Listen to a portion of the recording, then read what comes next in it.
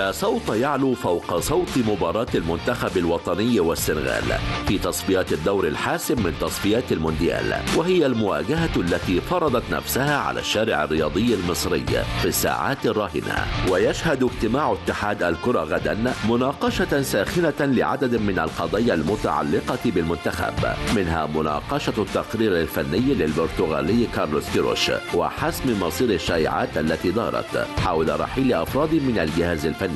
ويعود كيروش المدير الفني للفراعنة إلى القاهرة يوم الثامن عشر من فبراير الجاري عقب انتهاء الإجازة التي حصل عليها المدير الفني بعد انتهاء بطولة كأس الأمم الأفريقية 2022 التي أقيمت في الكاميرون واختتمت فعالياتها يوم السادس من فبراير من الشهر الجاري. وبدأ اتحاد الكرة التنسيق مع وزارة الشباب والرياضة والجهات المختصة من أجل السماح لأكبر عدد من الجمهور. بالتواجد في مباراة السنغال المقرر إقامتها يوم الثالث والعشرين من مارس المقبل في ذهاب المرحلة النهائية المؤهلة لمونديال كأس العالم 2022 وحسب مسؤول اتحاد الكرة فإن مباراة المنتخب ستشهد تواجد 50 ألف مشجع تقريبا في المباراة التي يقترب استاد القاهرة من احتضانها بناء على طلب الجهاز الفني لمنتخب مصر. وبدأ الجهاز المعاون لكيروش في إعداد تقارير عن لاعبي الدوري في الفترة الحالية والمقبلة لتحديد المواهب التي ستنال شرف تمثيل الفراعنة في مباراتي الحسم